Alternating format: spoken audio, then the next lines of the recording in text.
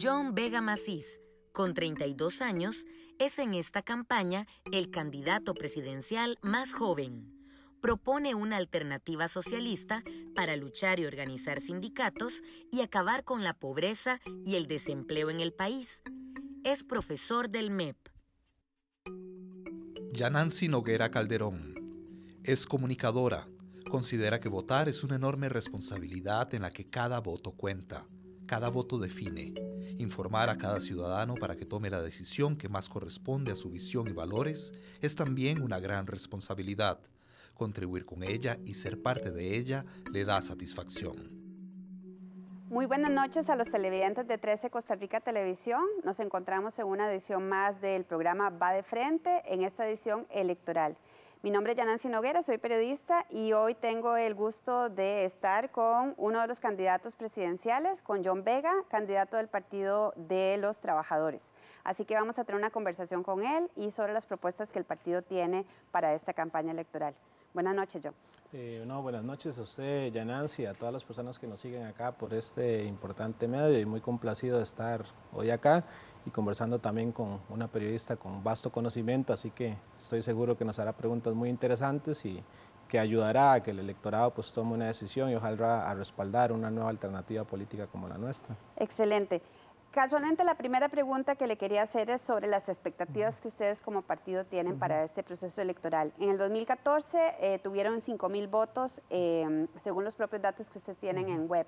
¿Qué esperan en términos de resultados electorales para una, una presencia en la Asamblea Legislativa? Bueno, primero nosotros somos bastante conscientes ¿no? de la limitación bastante antidemocrática que hay en las elecciones. Es decir, pese a que formalmente habemos 13 partidos, eh, y vemos los últimos datos que se han publicado en relación a pauta publicitaria de más de 1.100 millones y si uno compara quienes están liderando las encuestas los tres partidos que aparecen, digámoslo así, mejor ranqueados con la chequera que se ha gastado cada uno de esos partidos, pues hay una correspondencia directa. Nuestro partido obviamente no tiene posibilidades de pautar en televisión. Los espacios que tenemos son estos que se nos van abriendo para poder compartir eh, con el electorado costarricense nuestras posiciones y eso pues obviamente hace mucho más difícil. Si hubiesen medidas mucho más democráticas, por ejemplo, nosotros hemos planteado la necesidad de que en el país eh, se dediquen franjas horarias gratuitas en la radio y la televisión nacional para que todos los partidos en igualdad de condiciones podamos exponer nuestras propuestas y eso pues haría mucho más sencillo que una opción como la nuestra que creemos tiene una gran audiencia electoral porque estamos presentando una alternativa de la clase trabajadora, pues eh, fuera mucho más sencillo llegar al electorado. Eh, estamos dando una lucha muy importante por convencer sobre la base de la necesidad de que haya una alternativa socialista de la clase trabajadora como la que nosotros representamos. La verdad hemos tenido muy buena respuesta a donde hemos llegado, ¿verdad? Entonces yo esperaría por lo menos aumentar esa votación que ya tuvimos y pues ojalá desearíamos, aunque somos conscientes de las limitaciones que hay de tener representación parlamentaria.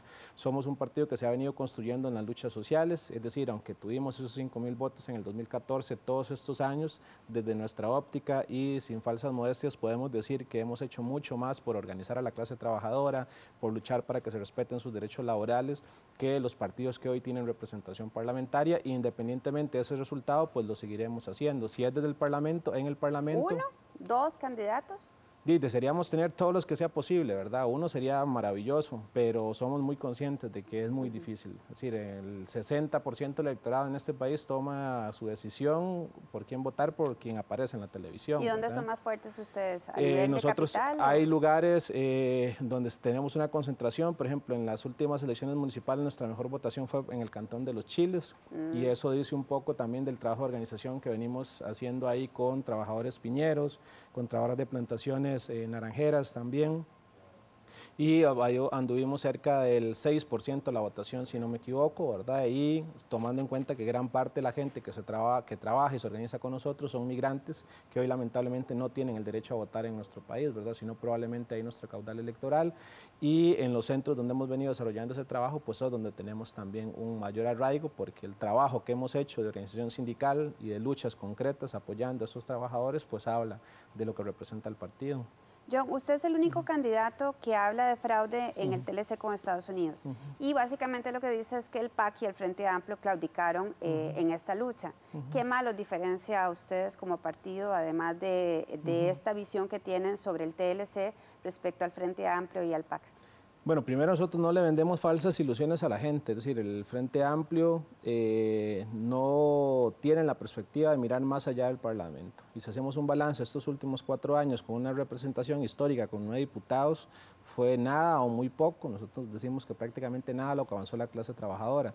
¿Por qué ocurre eso? Porque las grandes conquistas que nosotros hemos alcanzado como trabajadores han sido apoyados en la movilización, en las luchas sociales, y el Frente Amplio viene sistemáticamente renunciando a eso lo que viene pasando eh, hace algún tiempo en Honduras nos refleja ¿no? lo que eso pasa. Es decir, el pueblo fue y expresó una voluntad popular que le está siendo robada por decisiones políticas. Y si ese pueblo no se organiza para salir a movilizarse, a exigir el respeto a esa voluntad popular, pues esas reivindicaciones no van a avanzar. Entonces nosotros creemos que no es desde el Parlamento donde vamos a lograr esas grandes transformaciones, sino es apoyados en la lucha, las movilizaciones sociales, donde esa representación parlamentaria es un aliado, pero no el actor fundamental. Y el Frente Amplio lamentablemente confunde eso y le vende falsas expectativas, falsas promesas a la gente que por esa vía se van a solucionar esos problemas. Y llevamos cuatro años donde se demostró, cambiamos de gobierno, se ofreció un cambio que no vino, se profundizó el mismo modelo y esa va a seguir siendo la perspectiva si los trabajadores no apoyamos una alternativa política independiente y si no nos organizamos para luchar desde nuestras comunidades, desde nuestros centros de trabajo,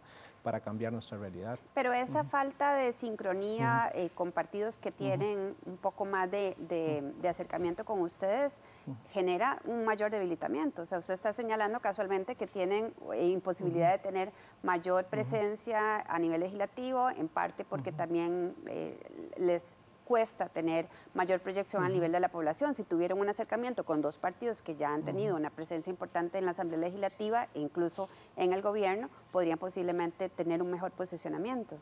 Eh, bueno, eso es una forma de verlo. Nuestra experiencia es que ha sido todo lo contrario. Por ejemplo, con este gobierno, en el Ministerio de Trabajo, acompañando lucha, nosotros lo que nos hemos encontrado es un Ministerio de Trabajo que es aliado directamente a las empresas que violan los derechos laborales de la, de la empresa privada. Hemos ido a juicios laborales donde hemos demandado empresas y casualmente los testigos claves de esas empresas son los mismos funcionarios jerarcas del Ministerio de Trabajo de este gobierno, los Guillermo Solís. Organizamos, por ejemplo, un grupo de trabajadores migrantes en una empresa, la Nenita Farm, en la zona norte, en los Chiles, y la respuesta respuesta que le dio este gobierno fue mandar una patrulla de la fuerza pública a subir a esos trabajadores en, en, esa unidad y irlos a dejar a la frontera como que fueran escombros. Esa fue la respuesta que el gobierno le dio. Nosotros obviamente estamos por hacer una amplia unidad con todas las fuerzas políticas en función de hacer avanzar la agenda de los trabajadores. Con el Frente Amplio el balance es similar. Por ejemplo, nosotros estuvimos unidos junto al Frente Amplio en la oposición a la concesión a OAS, la ruta de la Ruta 1, la Ruta General Cañas. Y estuvimos luchando y eso fue muy positivo no lograr que se entregara esa concesión. Pero en estos cuatro años nos encontramos un Frente Amplio donde la mitad de su fracción terminó votando una concesión que va a significar un robo exactamente igual o peor que el que fue OAS, que fue la concesión de la Ruta 32 a manos de una empresa china. Entonces, esas contradicciones creemos que también es en mucho lo que hoy le está cobrando al Frente Amplio en las urnas. Entonces, estamos por la unidad en las luchas concretas, pero también estamos por denunciar todas esas medidas que esos partidos toman y que solo le sirven a los grandes empresarios, a los que vienen haciendo grandes negocios con el presupuesto estatal y lamentablemente se han ido terminando o se han terminado de convertir en cómplices del modelo que ellos mismos en algún momento plantearon combatir o cuestionar. Dos consultas sobre eso que acaba de mencionar. ¿Cuáles, diría usted, son las tres acciones puntuales que promoverían en favor de los trabajadores desde la Asamblea Legislativa?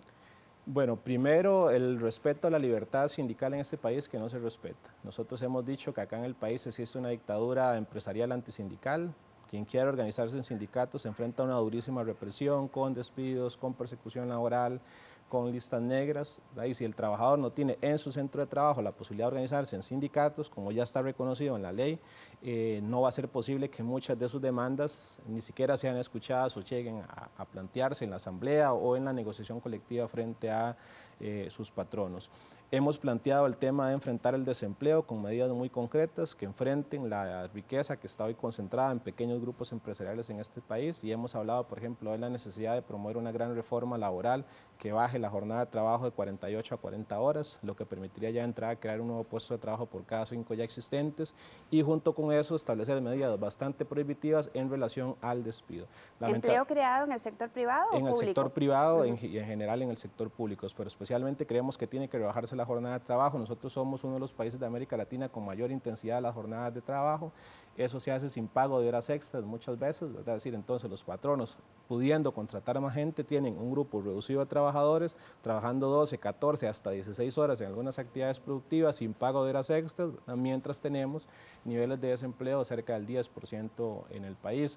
Eh, y eh, junto con esas dos medidas, creemos que es necesario adoptar eh, acciones muy concretas para garantizar una igualdad salarial, una eh, incorporación de las mujeres al mercado de trabajo. Hoy el cuido no está universalizado en nuestro país, ¿verdad? Es decir, creemos que es necesario impulsar eh, mecanismos de cuidado no solo en la niñez, sino de los adultos mayores que permitirían que las mujeres ingresen al mercado de trabajo, ¿verdad? Cerca de 120 mil mujeres hoy se ven impedidas de ingresar al mercado de trabajo porque tienen bajo su responsabilidad el cuidado ya sea de un niño o un adulto mayor y eso nos permitiría lograr la independencia económica de la inmensa mayoría de mujeres que cerca del 50% de las que hoy conviven en sus hogares dependen económica y patrimonialmente de sus parejas. Y esto trae eh, aparejado otra serie de problemas como la violencia doméstica, la violencia patrimonial que se ejerce en esas mujeres. Entonces, sin independencia económica va a ser muy difícil enfrentar, por ejemplo, la violencia doméstica que se cobra cerca de dos vidas por mes en este país de mujeres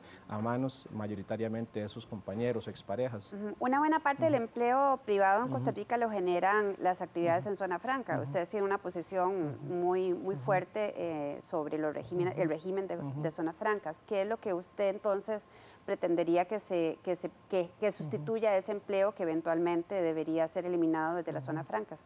Bueno, de más de millón mil personas que forman parte de la fuerza laboral, solo 88 mil trabajan en el régimen de zonas francas. Y es un régimen que tiene una serie de privilegios que no tiene ninguna actividad productiva en este, en este país, ¿verdad? Excepción de renta, de bienes inmuebles.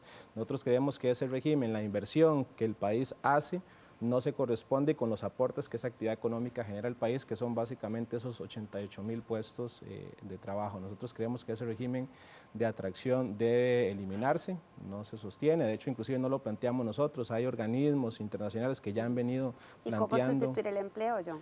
Bueno, hablábamos del tema de la rebaja de la jornada de trabajo. Nosotros hemos planteado, por ejemplo, la nacionalización o la recuperación de actividades estratégicas que hoy están en manos del sector privado, que permitiría redistribuir de mejor manera esa riqueza y contratar eh, mayor personal, por ejemplo, que son dos medidas muy concretas. Hemos hablado de la necesidad, por ejemplo, de una reforma eh, agraria que democratice el acceso a la tierra, que hoy está concentrada centralmente en grandes latifundios. ¿verdad? Hoy lo que estamos produciendo, el 63% de las tierras productivas en este país están dedicadas a producir agricultura de exportación y no a garantizar la soberanía alimentaria. Si adoptáramos un modelo de reforma agraria de redistribución de la tierra en manos de quien la trabaja y de garantizar la soberanía alimentaria para la producción interna, podríamos crear empleo y centralmente empleo en las zonas rurales que son hoy las más deprimidas. Entonces, el modelo de zonas francas es una forma únicamente de generación de empleo. Nosotros creemos que no es ni la mejor forma, ni la que genera más opciones de empleo y la que sí le genera un alto costo al país en una serie de privilegios que ninguna otra actividad económica eh, tiene en Costa Yo creo que los costarricenses no creen mucho en ese tipo de reformas, o sea, por algo se llaman reformas utópicas. Y creo que posiblemente las experiencias que tenemos cercanas o modelos similares no son necesariamente eh, reflejo de eso que usted dice.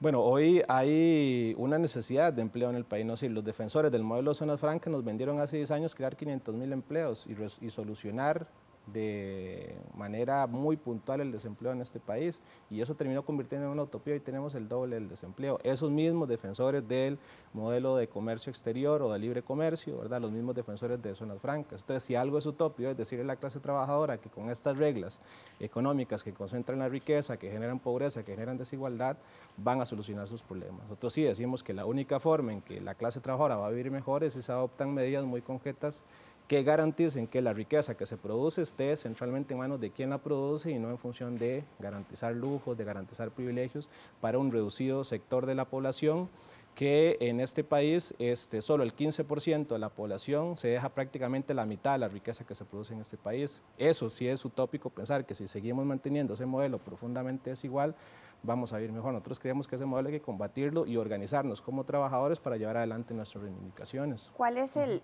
socialismo que ustedes eh, pregonan? Hablan de que son un partido internacionalista y hablan obviamente de, la vigencia del socialismo y hablan también de, la lucha contra el imperialismo. Suena un poco trasnochado.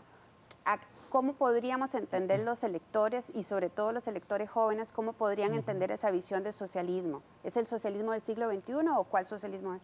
Bueno, primero no es el socialismo del siglo XXI porque el socialismo del siglo XXI lo, único que tiene socialista es su nombre, su reivindicación. Muchos de estos gobiernos llegaron al poder, estamos hablando de Chávez, de Evo Morales en Bolivia, justamente porque había una ruptura de las personas con ese modelo capitalista, con esas medidas neoliberales que se venían tomando y se venían combatiendo y, venían generando pobreza y desigualdad. Entonces nosotros primero somos profundamente críticos de estos modelos. Para nosotros el socialismo es incompatible con autoritarismo, ¿verdad? Y se están tomando medidas que refuerzan el autoritarismo y que van en contra de los propios trabajadores venezolanos que nosotros hemos denunciado y hemos cuestionado. Y centralmente el socialismo es incompatible con la concentración de riqueza en grandes grupos corporativos. Entonces, ¿qué es lo que tenemos en Venezuela? Si hay una transformación de los grupos corporativos de la vieja derecha tradicional que controlaba las actividades económicas y de nuevos sectores económicos ligados al, al PSUV que hoy están enriqueciéndose a costillas del pueblo venezolano. Entonces nosotros reivindicamos cuando hablamos de socialismo una experiencia histórica muy concreta, hace 100 años, a propósito de la gran revolución rusa de 1917, que en sus primeros años logró lo que ningún país en el mundo ha logrado en tan poco tiempo. Es decir, Rusia pasó de 1917 a 1923 de ser el país más atrasado de Europa, donde el 80% de las personas dependían directamente de la actividad agrícola, un país deprimido por la guerra, a ser unas principales potencias económicas, culturales y demás. Lamentablemente ese proceso terminó degenerando en algo que nosotros también combatimos, ¿verdad? que fue todo el proceso del estalinismo, es decir, y una serie de medidas antidemocráticas que se fueron tomando. Y por eso decía que para nosotros socialismo es incompatible con eh, antidemocracia o autoritarismo. Es decir, el socialismo parte de una base muy concreta que es que los trabajadores se puedan organizar de manera democrática y tomar las riendas de sus propios destinos. Es, es un poco difícil entender los conceptos, tal vez porque no tenemos ejemplos, ¿verdad? Pero usted habla entonces de que el socialismo que hemos conocido en América Latina no es el socialismo que ustedes pretenden, digamos, que se instaure en un país como Costa Rica. Y al mismo tiempo dicen que, que nuestra democracia es una democracia falsa, ¿verdad? O sea, que hay una farsa, que vivimos una democracia, una democracia centenaria que realmente es una farsa. Entonces, ¿dónde nos ubicamos? Cuando realmente pareciera, desde la visión de ustedes, que nuestro modelo está mal y que el modelo de otros tampoco funciona. ¿Cuál es el modelo entonces que ustedes quieren que se debería instaurar en un país como Costa Rica, que es muy diferente a la Rusia de los, de los años de la revolución que usted acaba de mencionar? Bueno, es muy diferente y, y, también no lo es tanto, ¿verdad? Sí, porque muchos de nuestros problemas hoy, ¿qué nos, qué nos encontramos, por ejemplo, nosotros en las piñeras? Condiciones de esclavitud o sin esclavitud prácticamente, es decir, lo que teníamos a inicios de siglo, en este país. Es decir, hoy en el mundo entero hay trabajo esclavo, es decir, hay más trabajo esclavo, muere más gente por guerras que en medio de la Segunda Guerra Mundial, ¿verdad? Entonces es un modelo que está completamente de nuestra óptica en decadencia y que es incapaz de garantizarnos un mejor futuro para la juventud. Por eso es que salió la juventud en España a movilizarse, en Francia, en Estados Unidos, el propio día de ascensión del gobierno de Trump, ¿verdad? Fueron millones los que salieron a la calle.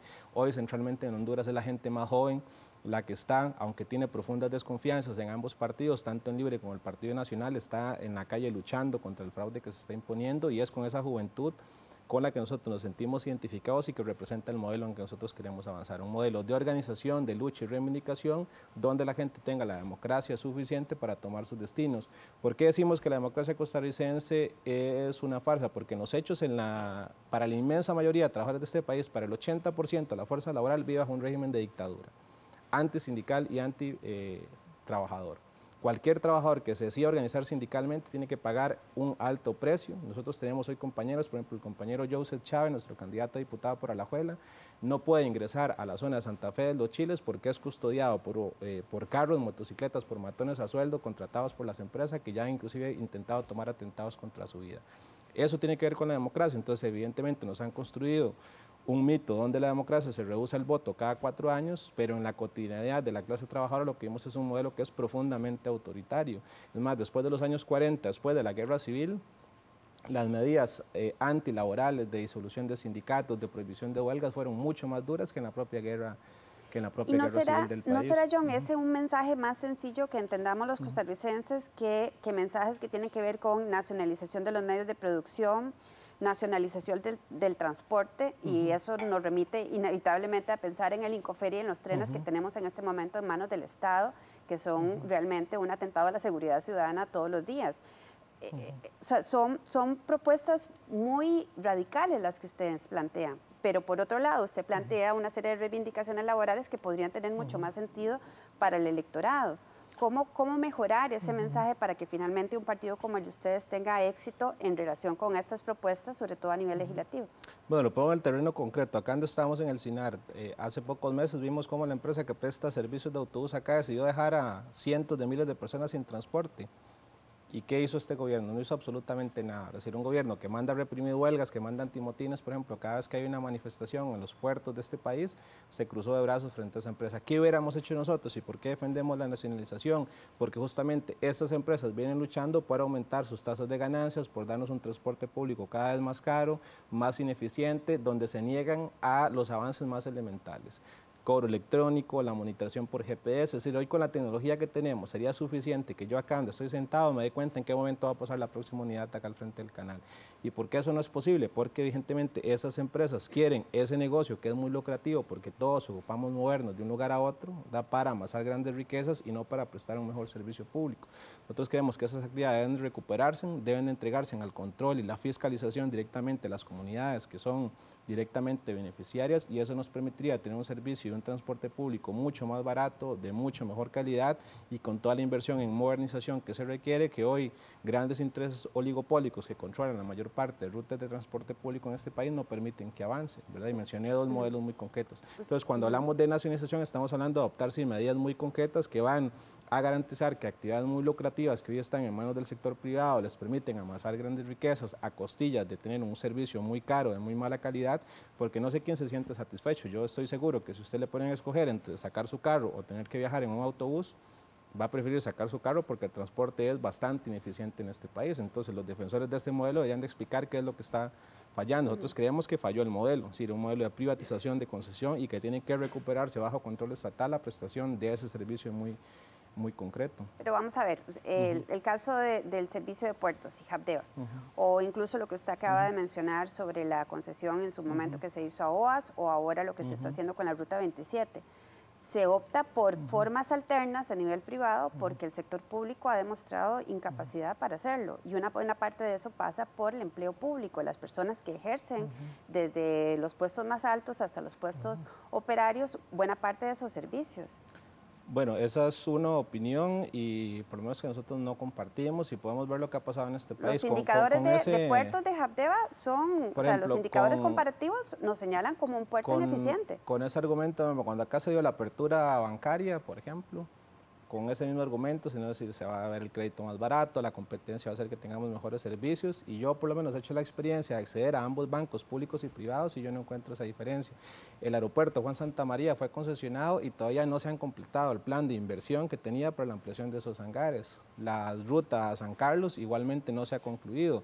Entonces, sinceramente, yo no veo, por ejemplo, si hablamos del modelo concesión de obra pública, para poner un caso muy concreto, ¿cuál hay un modelo que uno diga, este es el modelo exitoso en este país? que uno decía, este es el icono de todos esos eh, defensores del modelo de concesión y no lo hay porque ha sido un fracaso rotundo, es decir, lo que ha mediado la corrupción, la acumulación de ganancias y nos han condenado a no tener acceso a una serie de servicios muy básicos y muy elementales. Mencioné dos casos concretos, carreteras, aeropuertos, el mismo caso de los puertos.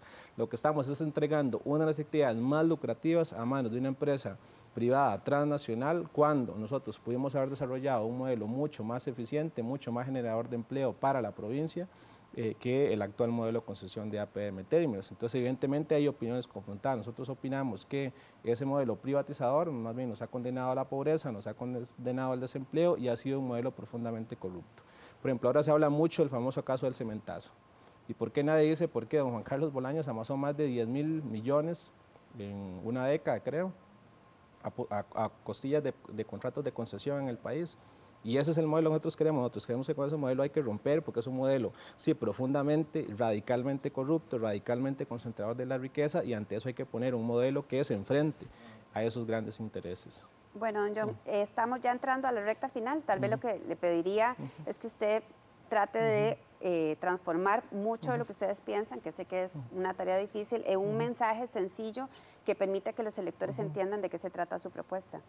Bueno, no, primero agradecer el espacio, invitar a la gente que conozca más de las propuestas del Partido de los Trabajadores, de mi candidatura John Vega. Soy el candidato más joven, tengo 32 años, ¿verdad? Soy el único trabajador asalariado de, de tiempo completo, candidato a la presidencia y eso dice mucho de nuestro programa, de los problemas, de las preocupaciones que nosotros tenemos hoy día, son las preocupaciones que tiene la clase trabajadora en el país, a la cual no le alcanza el salario, la cual es víctima de un transporte público bastante ineficiente, que sufre el desempleo, que sufre la precariedad laboral. Y por eso decimos que somos la única alternativa capaz de garantizar y ir a enfrentar esos problemas, no únicamente desde el Parlamento, sino especialmente desde las luchas concretas en los centros de trabajo, en las comunidades. Y es desde ahí donde vamos a lograr esas grandes transformaciones. Y por eso estamos pidiendo el apoyo para el Partido Partido de los Trabajadores en el próximo proceso electoral, la única alternativa independiente, socialista, que lucha efectivamente por solucionar de manera real y concreta los problemas de la clase trabajadora en este país.